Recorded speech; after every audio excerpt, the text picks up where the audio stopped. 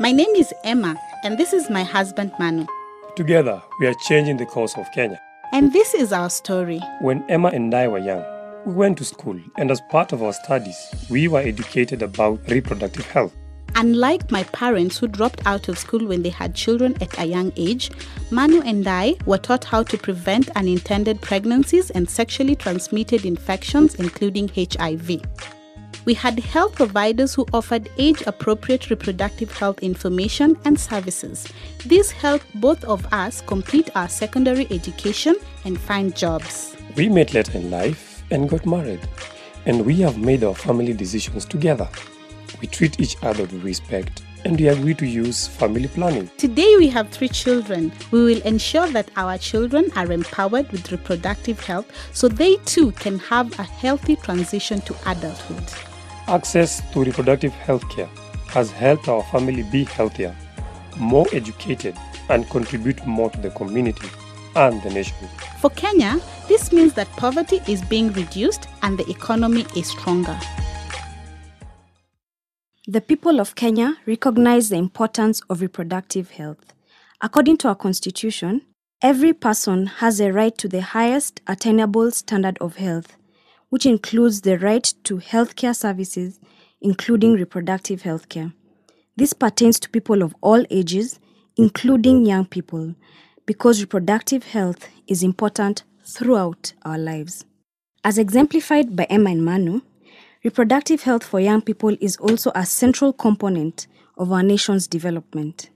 Today, young people in Kenya have many advantages the previous generations did not. This is exciting, especially because we have the largest generation of young people in history. A large young population is a great opportunity for our nation. But it also presents challenges because of the increasing demand for social services and natural resources. Let's look at the numbers. Kenya's population has been growing rapidly. In just the last four decades, the entire population has nearly quadrupled in size, from 11 million people in 1969 to about 40 million today. When we take a closer look at the age structure of our population, we see there are more people in the younger age groups than the older age groups. Here, we see the growing number of people under age 25. Today, approximately 25 million people, meaning nearly two out of three people, are under age 25. The size of our large young population is a result of high birth rates. The average woman has between four and five births during her lifetime. By 2030, even if fertility drops to an average of just below four children per woman, the total population will still grow to 66 million people, and the number of people under age 25 will increase to more than 38 million people. That's almost the size of Kenya's entire population today. Fertility rate is strongly influenced by the reproductive health and family planning needs of young people.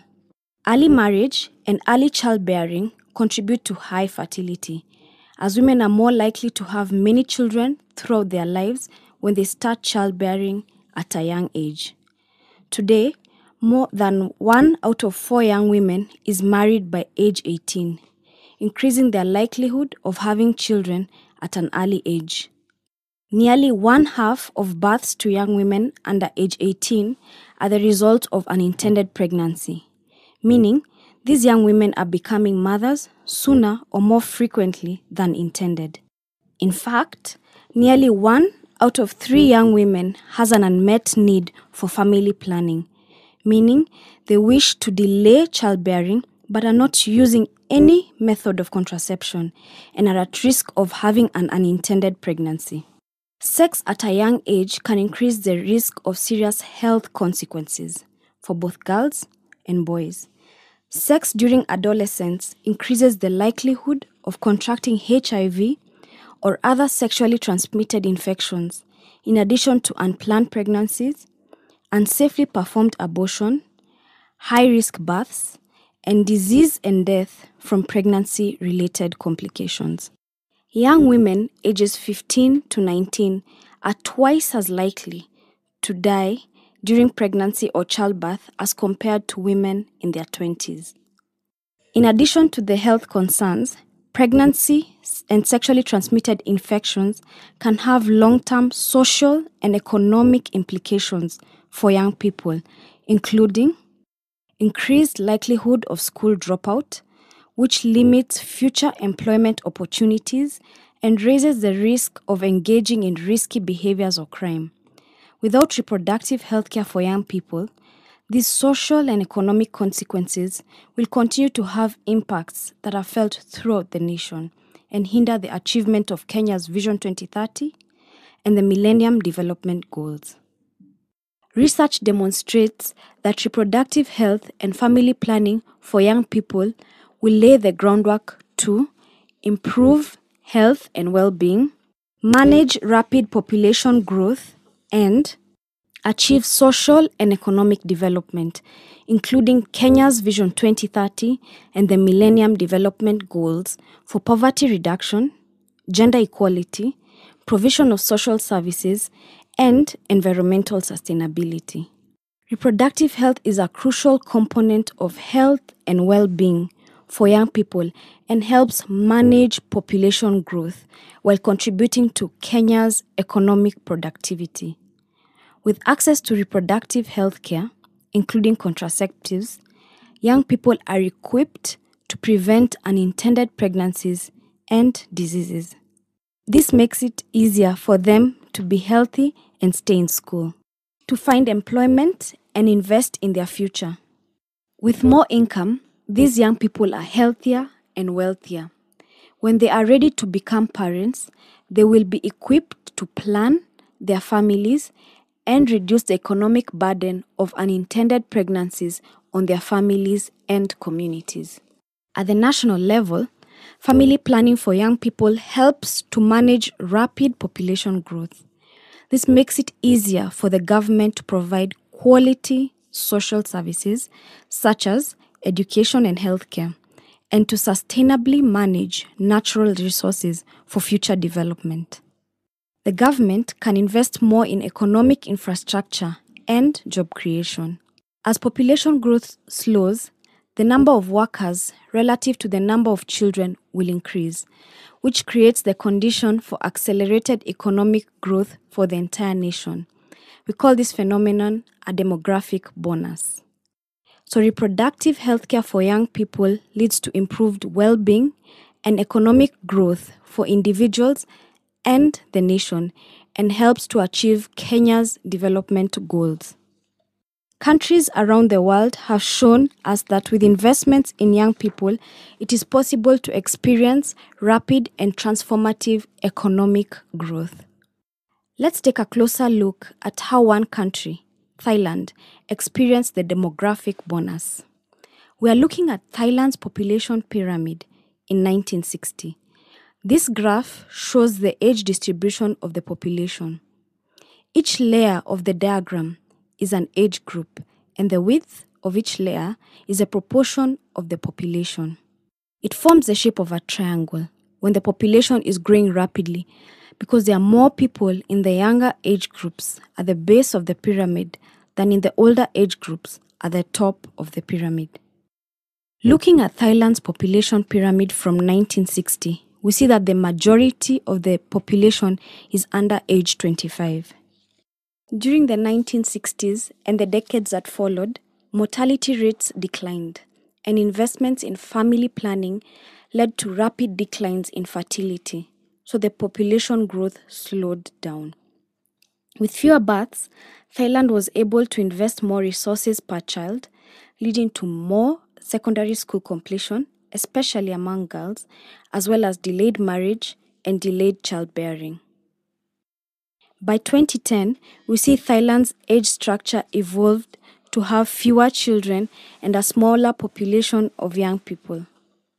The period pyramid is now dominated by adults who can be part of a productive labor force and contribute to economic development. And population growth has slowed down to a more manageable pace for families, communities, and the nation.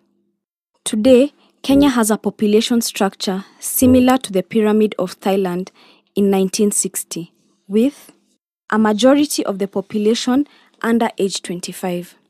Investments in reproductive health of young people will help to ensure a healthy transition to adulthood, lower birth rates, and create the conditions necessary for the demographic bonus. However, this kind of economic progress is not automatic. As observed with Thailand's demographic bonus, it requires a series of investments across sectors to ensure that young people are healthy, educated, and equipped with skills and opportunities to contribute to the country's economic growth. Enabling young people to stay in school has many social and economic benefits, including improved health, less likelihood of engaging in risky behaviors, a greater ability to make personal and household decisions, and mm. more opportunities for employment later in life. Educating young people about reproductive health will empower them to prevent unintended pregnancies and sexually transmitted infections and make it easier for them to stay in school. In fact, women with more education tend to have fewer children. On this bar chart, we have total fertility rate, meaning the average number of births per woman on the left axis, and educational attainment along the bottom axis. As level of education increases, the average number of births per woman decreases. Women with no education have an average of more than twice as many children as women who attend secondary school or higher. Mm. Imagine the impact of investments in reproductive health combined with investments in health, education, and job creation. If all adolescent girls in Kenya completed secondary school, and all of the adolescent mothers were employed instead of becoming pregnant at such a young age, the cumulative effect could add $3.4 billion to Kenya's gross income each year. So, how can mm. we achieve universal access to reproductive healthcare for young people today? It is time for the government and political leaders to increase support and leadership for reproductive health among young people. Government officials must support youth focused policies and allocate resources that ensure young people are healthy, educated, and employed later in life. The line social ministries, including the ministries focused on health, youth, social services, and national development, must implement multisectoral approaches that actively engage young people in policy making and program implementation. Health sector leaders should work with service providers to expand age appropriate reproductive health services for young people. These services must be tailor made to meet the diverse and evolving needs of young people. Education sector leaders, including teachers, must prioritize initiatives that help young people, especially girls, stay in school and ensure that reproductive health information is included in the school curriculum. Leaders at all levels, including religious and civic leaders, elders, and parents, must be sensitized to understand the consequences of early marriage. They should relay this information to their communities and ensure young people have access to reproductive health care. Young people must educate their peers about the benefits of reproductive health. This involves engaging boys and girls in efforts to reach their peers most effectively with accurate information. And they must be actively involved with the planning and implementation of their reproductive health policies and programs. Our young people are the future of Kenya. For a healthy transition to adulthood, young people must be equipped with reproductive health care. As was the case for Emma and Manu, when youth have access to comprehensive, age appropriate reproductive health care, the impact is felt throughout the nation. Health is improved, poverty is reduced, higher levels of education are achieved, and economic development is in place. By empowering young people with reproductive health today, including family planning, we can build a more prosperous Kenya.